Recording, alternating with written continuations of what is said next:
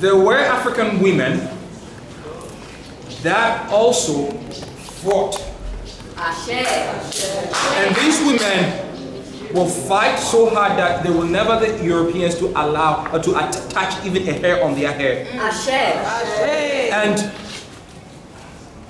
there comes a time the Europeans become so mad at them that they will have to send African women into this very room known as the female punishment cell.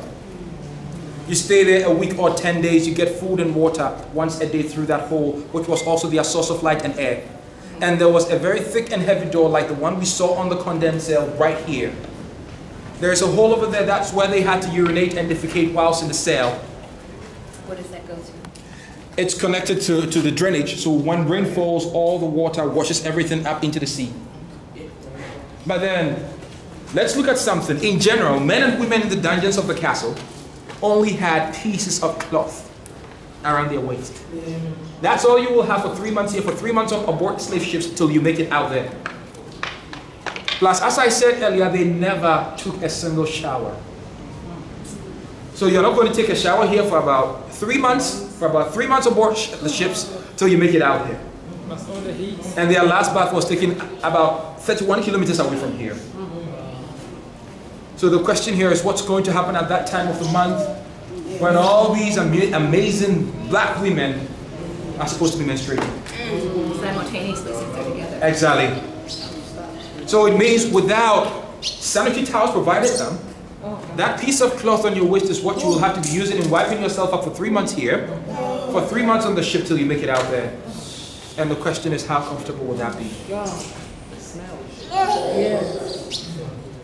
So the women's dungeon, we have two parts. Each room holding about 150 African women going through the same things the men went through, but constantly the African women were abused sexually. So much so that they will find some of these women pregnant in the dungeons, they examine them thoroughly to be sure of their pregnancy. Then they had houses out of the castle, they send them there, they take care of them, you have your baby, the baby will be cared for. The mother stays there, never goes back here. And they were doing that because whenever they brought in European soldiers, they died quickly. If they are dying that quickly, we can't trust the local people to do anything for us. So it's best we educate our own mulatto, mulattoes and mulattresses. They grow up and become just like us, work for us here as interpreters, clerks, secretaries, and everything. They bridge the gap. I think that's why, I think that's why the trade lasted so long. Exactly. Because you had the mulatto They all over. Didn't link to the African side. Exactly. Yep. father's side. Yep. They just kept it going. So, with all of that going on, these women that went out there to have their kids stayed there and never went back here. But on the other hand, there were some women that were equally pregnant in the dungeons.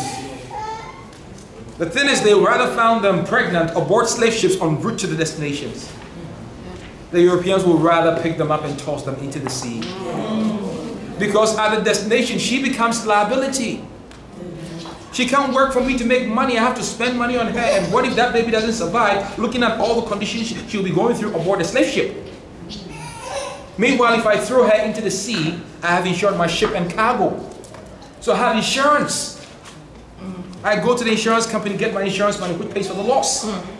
So it's much better business picking her up, tossing her into the sea, than taking her alive. I said, people, these people are devils.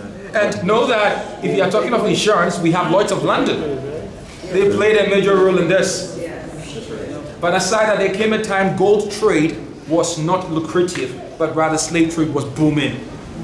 So banks started financing ships, going down to Africa, getting captives, selling in the Americas. And we are talking of Wall Street here. European Jews made. We are talking of we are talking of Bank of America. We are talking of Barclays Bank. And all the ones that you know. and all the European Jew conglomerates Exactly. that are just filthy rich nowadays. Uh-huh. Profiting from So you the realize suffering all our of them people. had their fair share of this. Just like now, they they all know putting big money into prison um, penitentiary Exactly. systems. Investing in it, sending black men there, making more Same money. thing, same thing. I mean, so I, ask, I ask people, how do, what do you define these people as more than just devils, demons, wicked, evil people? Yeah, Because there's anything worse than that, because that would be what the name, Yeah. that what the attribute would be. Exactly. All right, so We'll go and see the women's dungeons. So family is not just the past, it is the present. Yes, today. yeah, it's And today. we have to be careful, can, it, it can be the future. That, that, that, that, that is why I always tell people that come here that, hey, everything that happened in the past, still going on today. We today. gotta stop, we gotta stop being so universal. Yeah, it's still going on today. And I hope you guys charge a lot higher for the Yurugu, the doubles when they come here. I hope you do that quadruple That would be, price. that would be fair. If you must have them in here, then I hope you get, Yeah. yeah, because it's not, uh-uh, Yeah. uh-uh. What you're saying is right. And we should get a discount. Yeah. Okay, so over there we have the door of no return. And I want you all to know that the door of no return, whoever walked out of it never, ever came back. You walk out of that very door, you end up losing everything as an African on the continent of Africa. You lose it. You are stripped off of your name, your family, properties, dignities taken away. They send you out there on board a slave ship which is named Liberty and so many other things. Jesus. And Jesus and all of that. Your, your family always amazed me how people can still be so devoted to Christianity after all of this. Yeah. It's just, I never, you know, things like this just should just make you lose your religion. Let's hold up. So then they walk out of the door, and the stairs we are going to see going down the shore happens to be the very original stairs they always used down. Whenever they went down there, the soil you are going to see there now became the last African, African soil African men and women ever touched on the continent of Africa because the boats were there. Until today. If you get on board that boat, you don't touch soil again until you are in the New World or in Europe. Oh and it was estimated that over the period of 200 years in Cape Coast Castle, there were about 4 million Africans that walked out of the door of no return. Hmm. But then the question is, of all the people that went out, did all of them survive? No. So let's see. People were packed aboard slave ships, one on top of the other, just like books on shelves. And you will find yourself at the bottom of the deck, Everything coming down. feces, urine, people Vomit. vomiting because of seasickness and all of that dripping down. But then, as they always say, mortality rate was so high, so only about 20% of the people lost their lives aboard slave ships. But on the other hand, there were some Africans that believed that if they jumped overboard and end everything over there, their spirit will still stay in Africa. So then, what about them? and there were shackles and chains on them. So if, let's say, we have five in a line, I jump, I go down with everyone else. Yep. So you end up realizing that about 40% of the African men and women lost their lives aboard slave ships. Mm-hmm. Then they got 60% alive in the Americas. But look at something. They rather sold the people here with money. Yes. So they didn't pay money for them. Right. They only gave second-hand materials out to get them. Mm-hmm. So with my insurance, I go there, I get my insurance money, which gives me about thousands of dollars. Mm-hmm. It's more lucrative than even have, having to pe- keep the people. Yes, brother. Brother, I just have a real quick question. All right.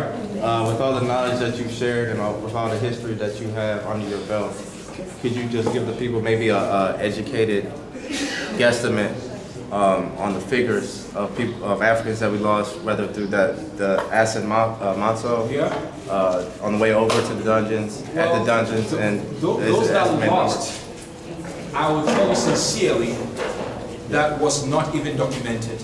Right, Never. right. There's no, there's no. Never. There's no number in any book that this number lost its life, their lives.